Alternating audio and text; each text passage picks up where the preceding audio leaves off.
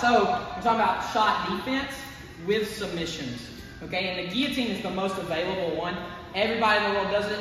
Not very many people know how to do it. The thing is, if I just cling to this and start walking my hips in, he can finish his, his double legs here. So this can be bad, yeah. So what I want to do is, I want to limit his options. I do not want his head and his hips to get on opposite sides.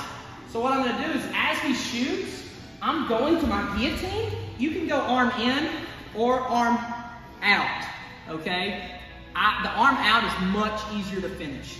The arm in is a little bit better control because he's like, you've got two hands on the steering wheel, right? But we're here. My number one thing is I don't want his head to get high and start bringing my elbow up. It's going to be hard for me to finish that guillotine. So I want to connect my cutting bone to the side of his neck, reach through and grab here, like not the wrist, not just the forearm, but kind of in the middle.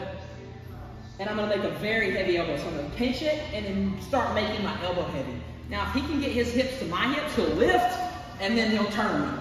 So I want to frame his hips away where he can't do that. So all I'm going to do is I'm going to offer the single leg and I'm using my shin to drive, bring your hips to me.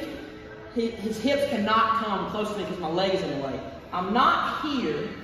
I'm making a heavy elbow, circling, boom. And then now, as we fall one more time, come back on top. We're here. As we fall, I will cover him so my hips can follow him. If it's an arm in guillotine, kind of come up just a little bit, they can see my. If it's an arm in guillotine, I'm going to connect and I'm going to stretch, cutting this here, using this to cut into his throat. If it's an arm out guillotine, I'm gonna crunch. I'm gonna crunch his chin to chest. Okay, so one more time on the takedown part. We're here, let's swap sides once. He shot, I stuffed him. I'm gonna use my, I'll go arm out this time.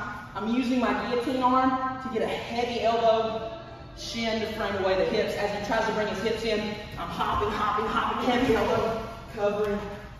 If it's an arm out I crunch. If it's an arm in guillotine, same finishing position, but a stretch. So play with that. Thank you, Mike.